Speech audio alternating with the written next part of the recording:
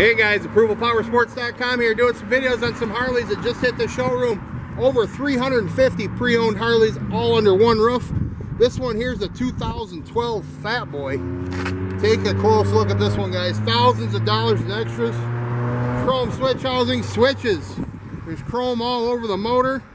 Got some Vance and Hines exhaust. Make this Fat Boy sound as cool as it looks go to the website, we got the little green button there says get pre-qualified. That's a soft pull with an instant decision. Give us a call. We'll get it done. 810-648-9500.